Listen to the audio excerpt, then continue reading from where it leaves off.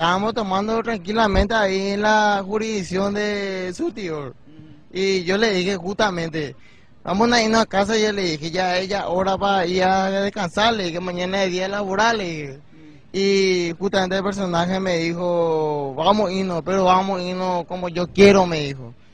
Y comenzó a acelerar y vino a toda velocidad y esta, esta, esta pendiente es un poco trambólico.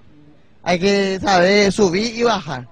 Y quiso pasar en un 60, entre 80 kilómetros por hora. Y voló. Y me hizo volar. Y yo volé de él.